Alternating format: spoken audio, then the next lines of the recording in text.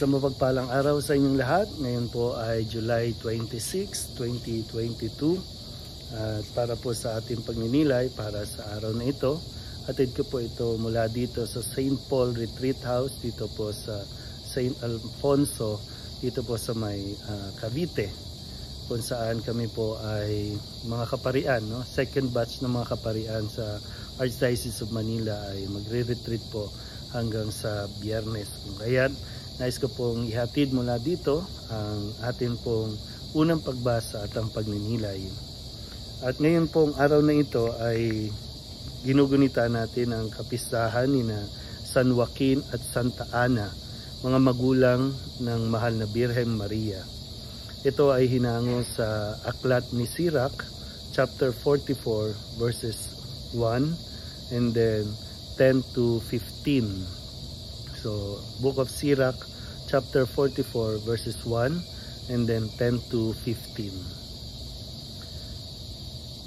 Papurihan naman natin ngayon ang ating mga ninuno, ang mga lalaking natanyag noong kani-kanilang panahon. Narito ang talaan ng mga lalaking tunay na may takot sa Diyos. Ang kanilang ginawa'y hindi pa nalilimutan. Patuloy na mamanahin ang kanilang mga inapo ang kanilang magandang pangalan. At ito ang kanilang magiging mahalagang kayamanan. Dahil sa tipan sa kanila ng Panginoon, nananatiling matatag ang kanilang angkan. At alang-alang pa rin sa kanila ay magpapatuloy hanggang sa kanilang kaapu-apuhan. Hindi mapuputol ang kanilang lahi at hindi maglalaho ang kanilang katanyagan Malaon nang nalibing ang kanilang mga bangkay, subalit mananatili pa rin buhay ang kanilang pangalan. Matatanyag sa mga bansa ang kanilang katalinuhan at patuloy silang pararangalan ng buong sambayanan. Ang salita ng Diyos. Muli po, isang mabagpalang araw sa inyong lahat. So ngayon po, uh, ay kapisahan ng mga magulang ni Maria, lolo at lola ni Jesus. Kung saan nung Sunday, no, dahil nga minub nito ng simbahan na pinagdiwang natin ang Grandparents Day nung Sunday. No, i-declare ni no, ng simbahan na parangalan natin ang mga lolo at lola. At siguro magandang balikan natin, no, alalahanin din natin yung mga tagpo no, na kung saan kasama natin ang mga lolo at lola natin. Bagamat ako po, uh, hindi ko nakalakihan na mayroong lolo at lola. No? Naririnig ko lang yung mga pangalan nila. Siguro naabutan ko pero sadyang napakabata ko pa kaya wala akong memories. No? Ano yung itsura dahil nga wala na rin picture. No? Wala akong makita ang picture. Pero ganun pa man, no? Uh, sa inyo po, kayo po, no, na yung mga kayo po, ng mga nakikinig ng mga lolo at lola na uh, Happy Grandparents Day po. Uh, sa inyo naman na buhay pa yung mga lolo at lola, sa magandang tingnan din natin, ano ba ang mga natutunan ninyo o maaalala ninyong aral na ibinigay sa inyo ng mga lolo at lola ninyo. So, meron ba? Kasi ito po ay maituturing na kayamanan, no? Treasure na natin dahil ang mga lolo at lola talagang sila yung bihasa na eh, no? talagang may pinagdaanan. Sila yung literal na may pinagdaanan na at mga natutunan na sa buhay. Kaya minsan uh, parang laging ang, ang kanila pong pangaral ay nagmumula lagi sa kanilang karanasan.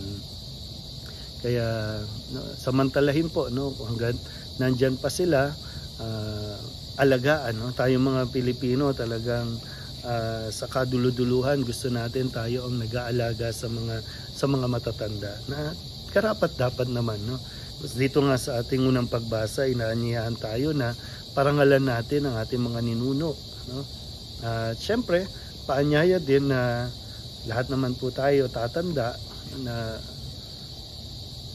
hindi lang basta tumatanda dapat, no? hindi lang basta nagkakaedad, kundi ang mahalaga ay mapaalalahanan din tayo ng mga bagay na higit na mahalaga yung may pinagkakatandaan tayo. Sa panahon natin ngayon, ah, ma- naguguluhan ng mga kabataan dahil marami sa mga matatanda ang ah, hindi nakakapagbigay ng tamang paggagabay sa mga anak, sa mga apo. Kaya na, na, napapalitan, no? Ah, may mga kwento rin tayo na naririnig na ayaw nila makasama ang mga lolo at lola nila dahil nga sa sobrang higpit. Pero sabi ko kanina, no, ang lahat ng kanilang mga pangaral ay nagmumula sa kanilang mga karanasan. Um, pangit, maganda, tama, mali na karanasan, ito po ay kanilang ibinabahagi sa atin para hindi na tayo magkamali din katulad nila o para tayo mas mabuhay ng masaya no? dahil nga nakita na nila ito eh. Kaya nawa po sa araw na ito ay ipagdasal natin sila no.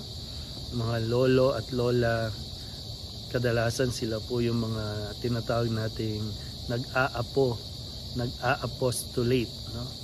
Pinapaubaya ng mga anak ang kanilang mga anak sa mga magulang para alagaan pero kaya biyaya kasi ito, no? Biyaya yung pagtanda eh. Dahil ang pagtanda ay simbolo ng karunungan, no? Yung wisdom na tinatawag. Kaya ito yung may mga kultura at may mga mga bansa na talagang kayamanan nila eh, no? pinangangalagaan nila, pinoprotektahan nila yung matatanda. At sa kanila sila kumukonsulta, sa kanila nagtatanong, nire-respeto. Pero siyempre tayo din naman, ah, habang bata pa, tiyakin din natin na sa atin bang pagtanda ay magiging karespe-respeto tayo. Sa atin bang pagtanda ay aalalahanin nila ang ating may maaalala ba silang maganda na buhat sa atin hindi lang basta hindi lang basta pagtatayo ka ng rebulto eh no kundi ano ang mga ginawa ano ang mga sinabi mo ano yung mga iniwan mo mga legacies no? so sana po no sa pagdiriwang natin ngayon huwag nating kalimutan na ipagdasal ang ating mga lolo at lola muli po mula dito sa St. Paul dito sa St. Alfonso isang mapagpalang araw po sa inyo lahat